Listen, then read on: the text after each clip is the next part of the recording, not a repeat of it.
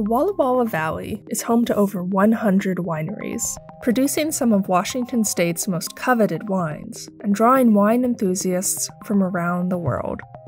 But this industry comes with a serious environmental cost. Like many rural communities, Walla Walla suffers from a lack of local recycling infrastructure. And with material recovery facilities and end use manufacturers hundreds of miles away, it's also not financially feasible to recycle our glass that way. So it all ends up in the landfill, three or more tons per week during the busy season.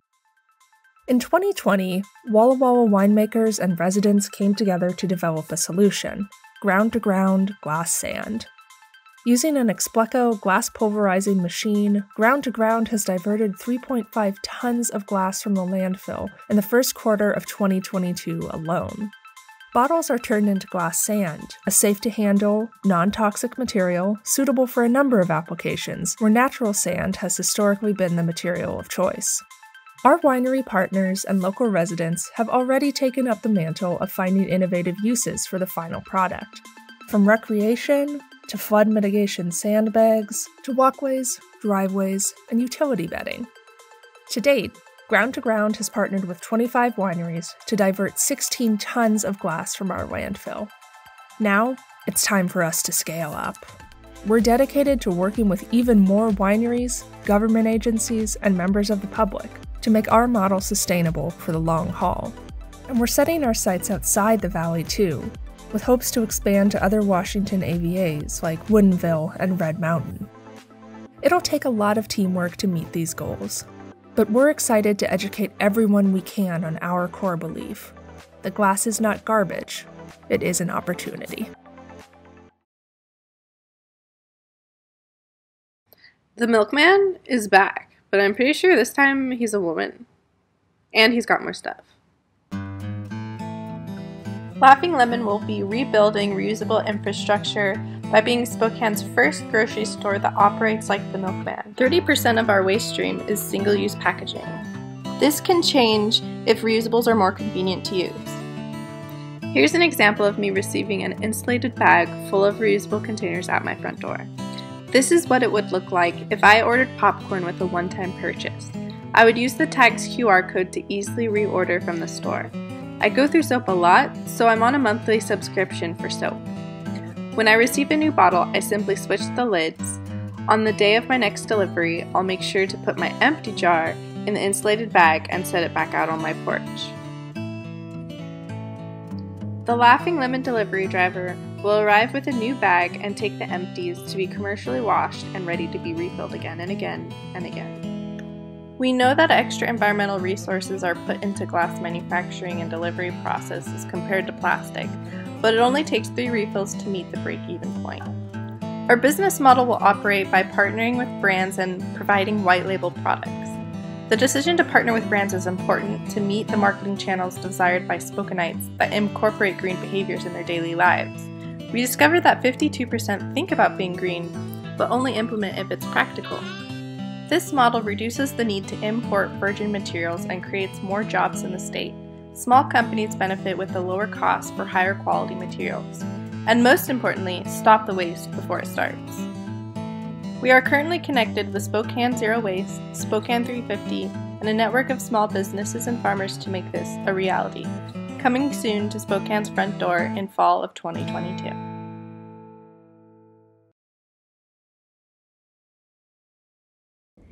The Redesign Center uses creative commerce to make a global impact. We turn the crisis of environmental waste and demand for social equity in business into economic opportunities for creative entrepreneurs. We help artists establish their businesses and sell their original works through online and local commerce. We share resources because it's great for the environment and also reduces barriers for historically under-resourced entrepreneurs. And we love to work together and we educate corporate partners about intersectionality and sustainability through hands-on workshops, hybrid team building events, and on-site art installations. We know how to turn waste streams into profit. Customers want to know how your business is making a positive social and environmental impact, and we're here to help you communicate that to them. Hi, my name is Molly Woodson, and when Lisa first reached out to me about joining the Redesign Center, I was absolutely moved to tears. Um, the whole point of the Redesign Center is to bring to light the fact that sustainability is an issue of intersectionality, and we're providing a work environment that is specifically tailored to people who don't work well in traditional work environments. Corporations and businesses of the future will better reflect the diverse needs of people in our community if we actively facilitate opportunities. The Redesign Center equips artists with the space, knowledge, and skills needed for business. We look forward to working with you.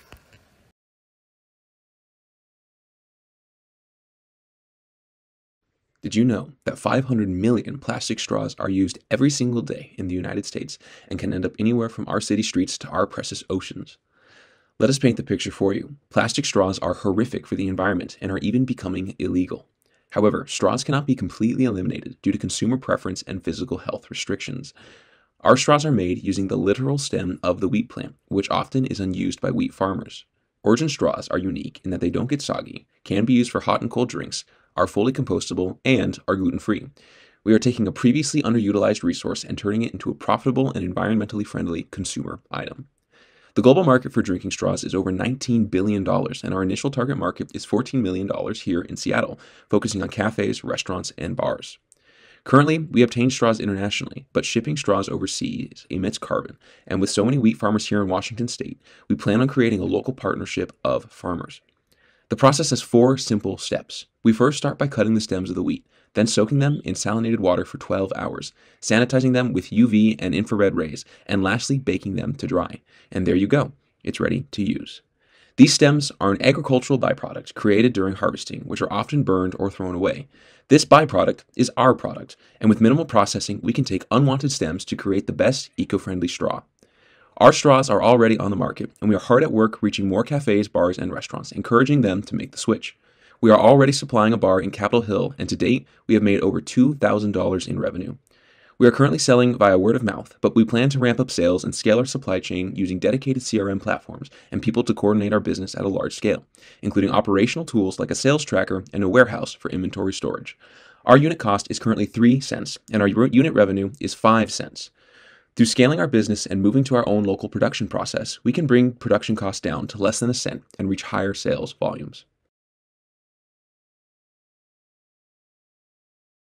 I want to create the products that I want to see on the store shelf that I don't currently see. I want to speak to the female consumers who maybe aren't buying upcycled products currently and say to them, hey, you know that you can buy a beautiful design that is also upcycled. When I was a teenager, I was obsessed with fashion design. I wanted to be a fashion designer, but at some point I realized how bad for the planet fashion is.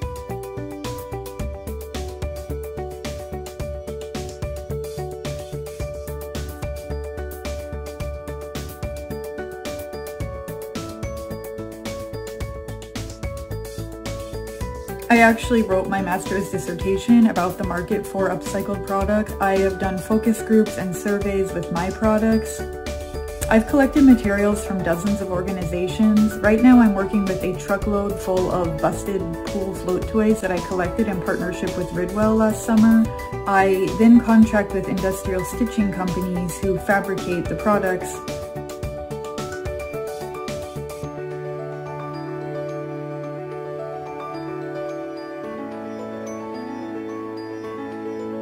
I see this business as growing in a spiral where more sales lead to more business relations to collect the waste, leads to more sales, build division.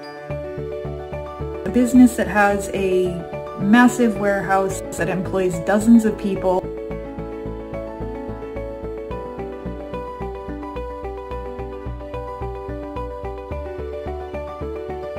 I work with the program supporting refugees. I've been a program manager for projects that work with homelessness and housing and connecting with employment programs. I want to quit my job to pursue Roses Are Rubbish full time, but I do not want to quit the social aspect of the work that I do.